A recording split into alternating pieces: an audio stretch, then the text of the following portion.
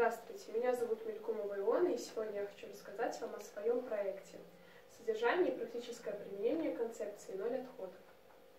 На сегодняшний день проблема бытовых отходов стоит особенно остро. Практически каждый день в СМИ публикуются новости о митингах против свалок, рассказывается о вреде пластика и загрязнении Мирового океана. Интернет наполнен страшными фотографиями. Конечно же, я не могу оставаться равнодушной к данной экологической проблеме, ведь проблема загрязнения бытовыми отходами начинается с каждого из нас. Я задумалась, а что лично я могу сделать для того, чтобы мусора на нашей планете стало меньше. А, изучая различные материалы, я нашла интересную статью о современном направлении и стиле жизни Zero Waste, ноль отходов. И в данной проектной работе я хочу представить краткое содержание и личный опыт применения принципов разумного потребления. Эта концепция зародилась в США в 70-е годы. Автор концепции Бэя Джонсон и ее семья из четырех человек за год смогла накопить мусора лишь эту банку. Концепция состоит из пяти взаимосвязанных между собой правил и заключается в них следующем.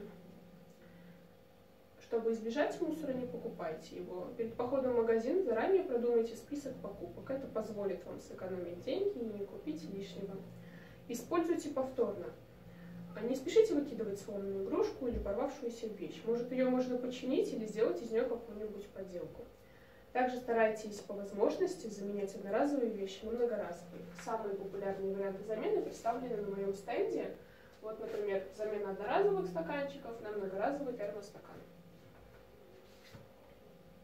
Переработка вторичного сырья, экономия природных ресурсов.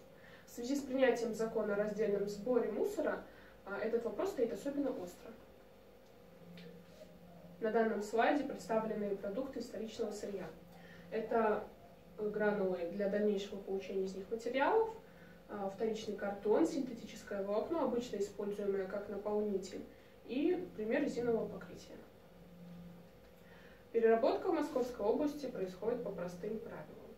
А, есть два бака. Серый отправляется на свалку, а синий на переработку. На переработку можно сдать э, бумагу и картон, стекло, металл и пластик с учетом маркировки. Его существует 7 видов. На переработку обычно отправляются первый и второй вид пластика, они легко перерабатываются. А на акциях по раздельному сбору мусора можно сдать четвертый, пятый и шестой. А вот третий и седьмой нигде не перерабатываются. Также существует отдельный вид отходов, это опасные отходы. Их сбор осуществляется отдельно, ну, иногда в оранжевые контейнеры, и также по закону их обязаны принимать в управляющих компаниях. Отдельно пищевых отходов э, и серого бака. Они являются главной проблемой э, переработки мусора. Существует два способа решения этой проблемы. Либо делать компосты, либо ставить измельчители для стоков в канализацию. Одним из злободневных вопросов движения является сокращение использования полиэтиленовых пакетов.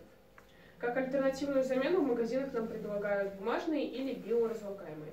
Но по факту это маркетинг, который далек от заботы об экологии. Бумажные пакеты, учитывая их производство и практичность, сложно назвать удачным выбором. Да и биопакеты таковыми являются лишь в кавычках. В их сложности распада я смогу убедиться лично, проведя эксперимент по разложению упаковки в различных средах. Так, на примере водной среды, среды мы видим, что основные изменения претерпела бумажная упаковка, а вот остальные виды остались без изменений. В начале лета в рамках программы «Чистое Подмосковье» я участвовала в акции «Плогинг», сбор, канала, сбор мусора вдоль канала имени Москвы на территории парка.